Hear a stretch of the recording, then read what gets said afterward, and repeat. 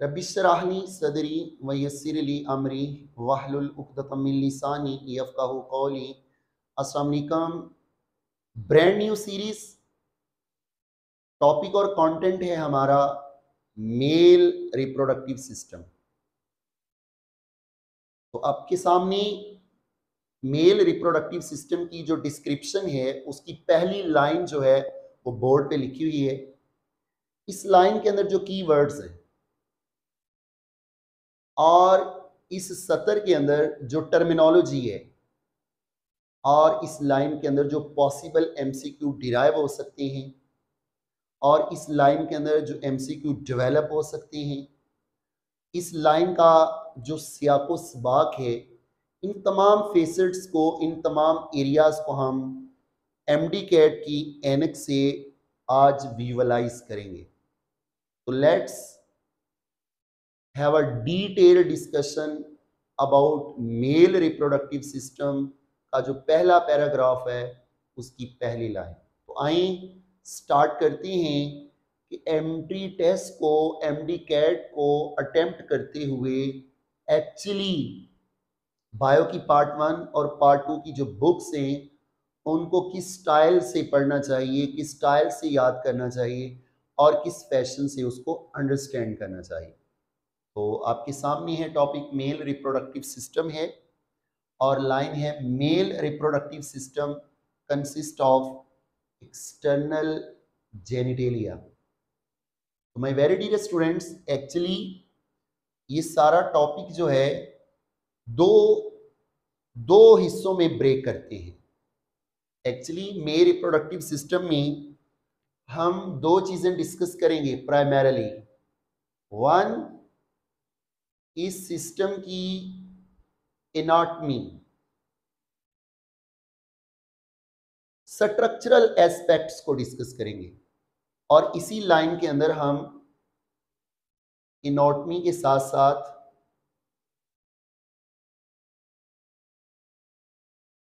इन structures की physiology पे भी बात करेंगे।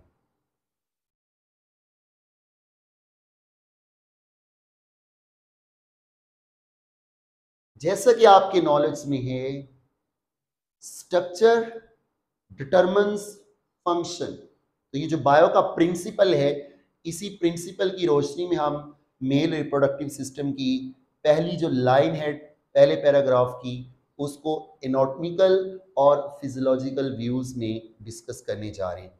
तो male reproductive system consist of actually male reproductive system एक सिस्टम है तो इसके अंदर वेरियस ऑर्गन्स और स्ट्रक्चर्स की टीम है। तो वो टीम वो ऑर्गन्स जो मे रिप्रोडक्टिव सिस्टम में ऑपरेट करके जो चार मेन फ़ंक्शन हैं मेल रिप्रोडक्टिव सिस्टम के, उसको एग्जीक्यूट करते हैं। Number one production of sperms number two nourishment of sperms and number three storage of sperms and number four, transportation of sperms. तो production of sperms, spermatogenesis. Nourishment of sperms, transport of sperms, and storage of sperms. ये चार main function जो है, male reproductive system perform करता है। तो उसके लिए कुदरत ने जो ऑर्गन्स और स्ट्रक्चर्स में रिप्रोडक्टिव सिस्टम में रखी हैं, उनमें है एक्सटर्नल जेनिटेलिया। तो याद रखिएगा जेनिटेलिया कहते हैं सेक्स ऑर्गन्स को, और इन्हें ही my very dear students genitals भी कहते हैं। जेनिटल्स तो वो सेक्स ऑर्गन्स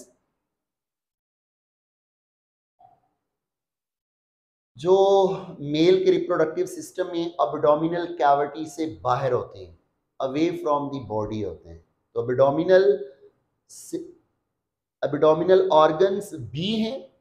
मेल के रिप्रोडक्टिव सिस्टम में कुछ ऑर्गन्स इंट्रा एबिडोमिनल हैं और कुछ एक्स्ट्रा एबिडोमिनल है। तो याद रखिएगा, हर वो सेक्स ऑर्गन जो एक्स्ट्रा एबिडोमिनल है, वो एक्सटर्नल जेनिटल्स में आता है एक्सटर्नल जेनिटेलिया में आता है। तो याद रखिएगा, इसमें मेन हमारे पास ऑर्गन है टेस्टिस और टेस्टिस जिस फ्लेक्सिबल और जिस सैक के अंदर मौजूद हैं दैट इज़ कॉल्ड स्क्रोटम और टेस्टिस में प्रोड्यूस होने वाले जो स्पम्स हैं, उनको फीमेल की बॉडी में ट्रांसफ़र करने के लिए हमारे पास कॉपुलेटरी ऑर्गन तो वो ऑर्गन्स मेल रिप्रोडक्टिव सिस्टम के जो विजिबल होते हैं एक्स्ट्रा एबडोमिनल होते हैं, वो हैं एक्सटर्नल जेनेटेलिया में टेस्टिस वो हैं स्क्रोटम और वो हैं ऑर्गन तो यहाँ से एमसीक्यू डेवलप हो सकता है। वो कौन सा ऑर्गन है जो मे रिप्रोडक्टिव सिस्टम के एक्सटर्नल जेनेडेलिया में नहीं है? तो तीन ऑप्शन दिए जा सकते हैं। इसमें टेस्टिस भी है, इसमें स्क्रोटम भी है और इसमें कपोलेटरी ऑर्गन भी है। तो ये तीनों एक्सटर्नल जेनेटेलिया की टीम है। ये वो ऑर्गन्स हैं जो बर्थ के वक्त एक बेबी बॉय के इनको विजुअलाइज करके जेंडर को बताया जाता है कि बेबी बॉय है या बेबी गर्ल है। तो याद रखिएगा, एक मेल फीटस जब डेवलप कर रहा होता है तो उसकी बॉडी में कुछ इंटरनल ऑर्गन्स भी बन रहे होते हैं। सच एज तो कीप इट रिमेंबर, एक होते हैं एक्सटर्नल जेनेटेलिया, जिस पे अभी बात हो रही है। और एक है इंटरनल जेनिडेलिया एक्सटर्नल इसीलिए चूँकि इंटरनल भी है, इसके रेस्पेक्टिव जेनिटेलिया तो इंटरनल जेनिटेलिया में तीन एक्सेसरी ऑर्गन्स आते हैं तीन टाइप के। नंबर वन सेमिनल वेजिकल्स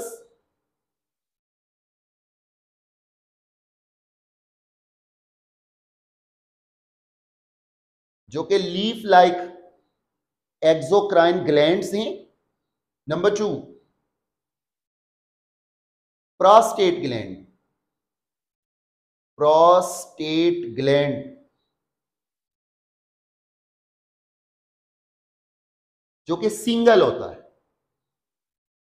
तीसरी टाइप जो है, इंटरनल जेनेटेलिया की जो टीम बनाती है, तीसरा एक्सेसरी ग्लैंड है। Bulbourethral glands. Bulbourethral glands.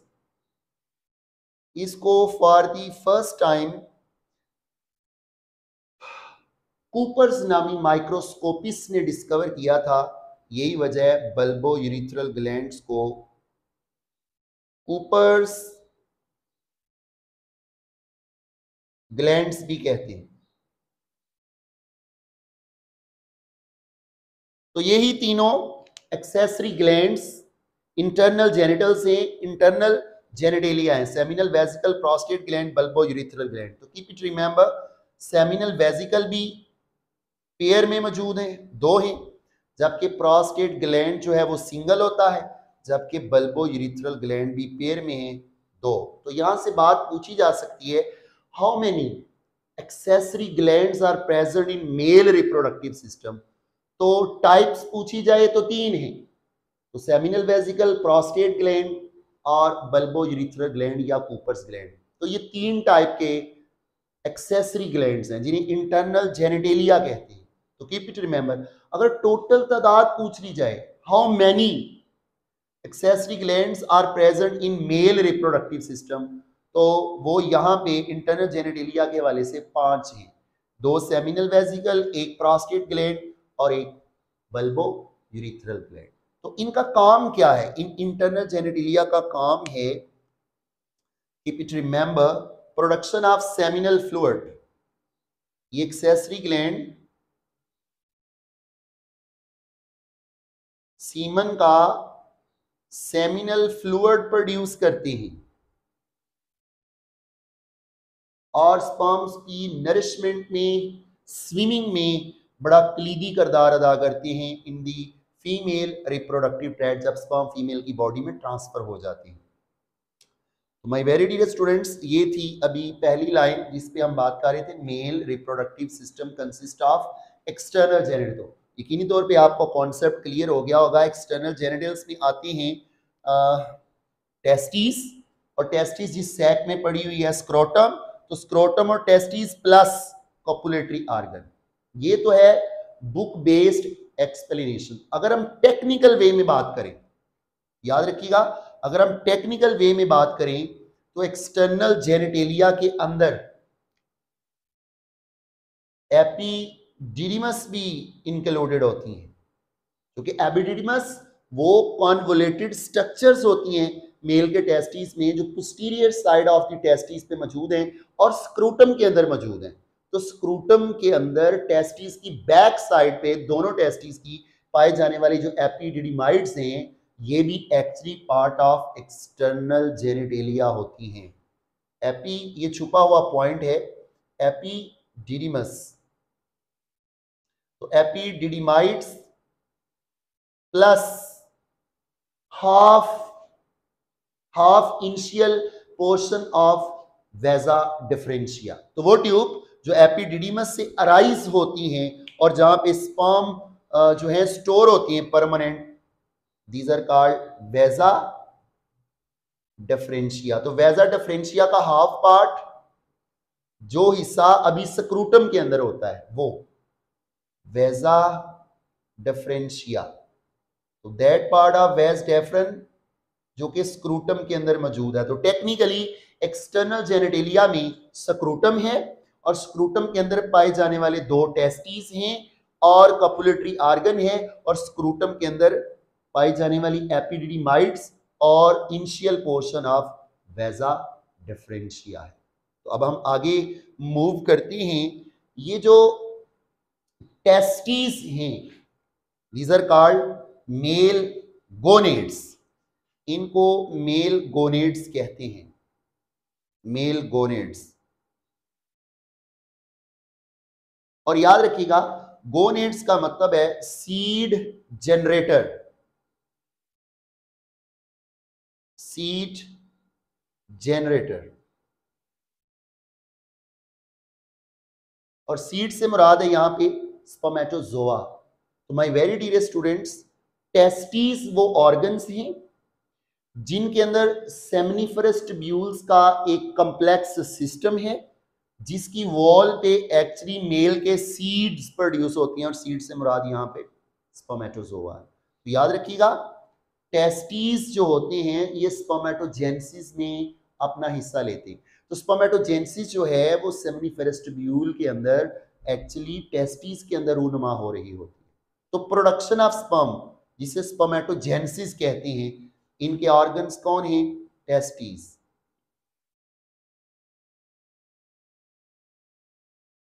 तो वो ऑर्गन्स जहाँ पे स्पर्मेटोजेनेसिस होती है these are called testis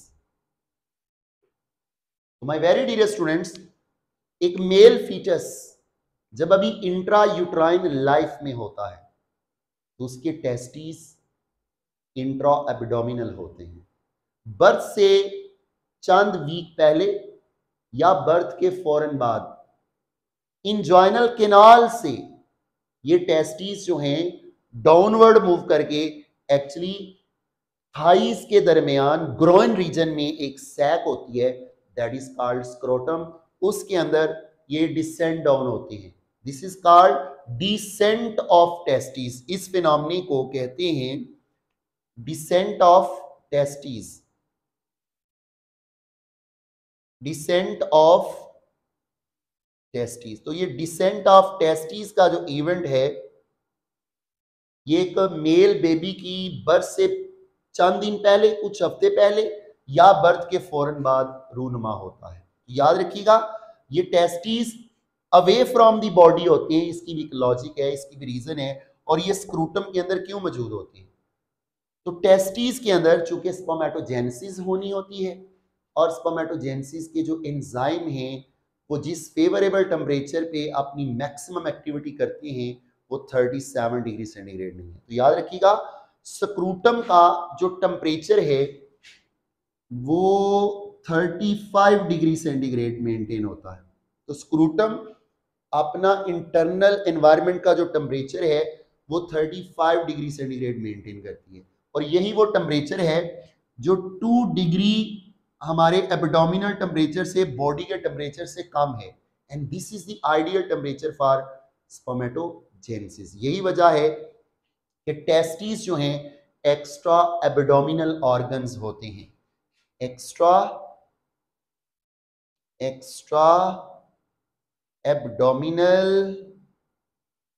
extra abdominal organs तो testes are actually extra abdominal organ away from the testes एक बेबी बॉय जो है, उसकी जब बर्थ होती है तो उसके टेस्टीज जो हैं बर्थ के फ़ौरन बाद या चंद हफ़्ते पहले डिसेंड होते हैं, इसी स्क्रूटम के अंदर इसकी लॉजिक एक्सप्लेन हुई है।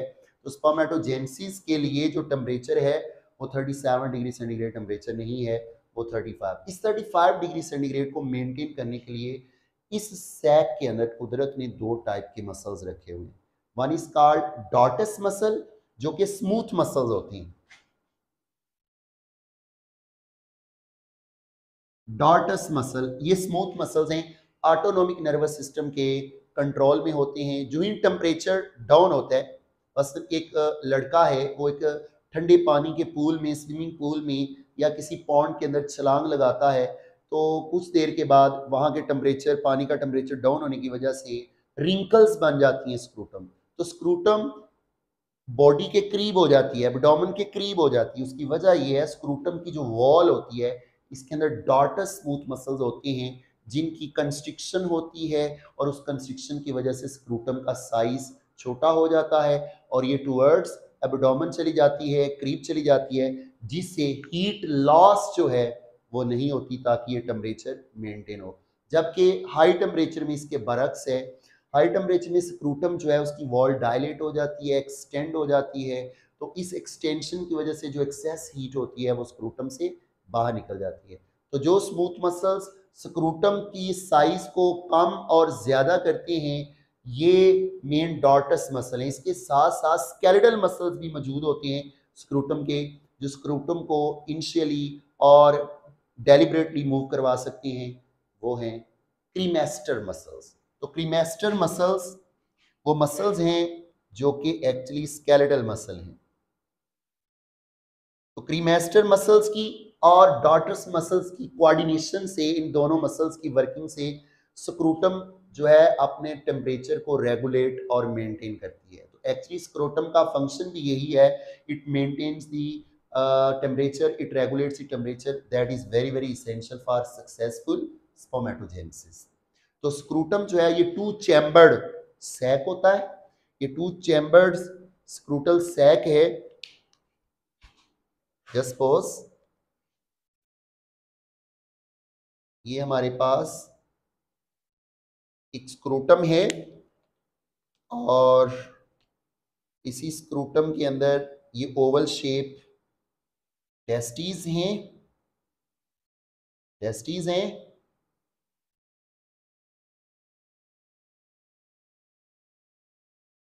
टेस्टीज भीरर ये सैक दरमियान से पार्टीशन होती है। टू चैम्बर्ड सैक होती है और अगर एक्सटर्नली हम देखें स्क्रूटम को तो स्क्रूटम के मीट में एक लाइन होती है दैट इज़ कॉल्ड रफ तो इसी स्क्रोटम के टेम्परेचर मेंटेन करने की वजह से जो सक्सेसफुल स्पर्मेटोजेनेसिस हो रही है टेस्टिस के अंदर, इन्हीं स्पर्म्स को फीमेल की बॉडी में ट्रांसपोर्ट करने के लिए जो ऑर्गन मौजूद होता है मेल रिप्रोडक्टिव सिस्टम में that is called copulatory organ तो याद रखिएगा कपुलेटरी ऑर्गन को उर्फ़ आम में पीनस भी कहते हैं।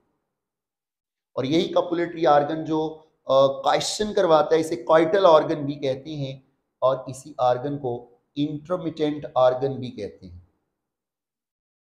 इंट्रोमिटेंट ऑर्गन तो इस intromittent organ coital organ copulatory organ और पीनस की मदद से फीमेल की बॉडी के अंदर स्पर्म्स को ट्रांसफ़र किया जाता है। उसकी वजह यह है कि इंसान ट्रेस्टीरियल एनिमल है और फीमेल के अंदर जो फर्टिलाइजेशन होती है, वो इंटरनल होती है।